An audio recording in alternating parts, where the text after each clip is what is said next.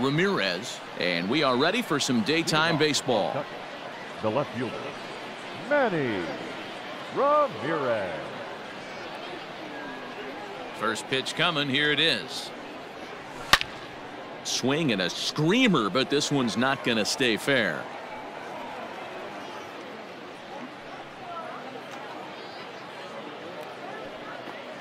First pitch, 1 o'clock. Into the windup. Here comes the 0 1. Turned on that one and crushed it. Just pulled it a little foul.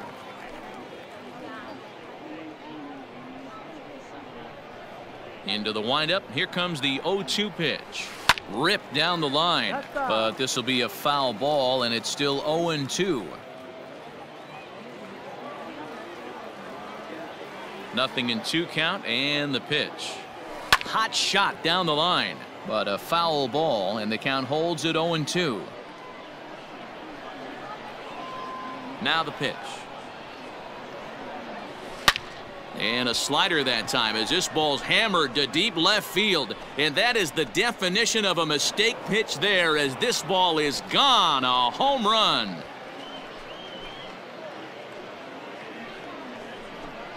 So it's a solo home run here leading off the ball game. As they get on the board first, it's one to nothing.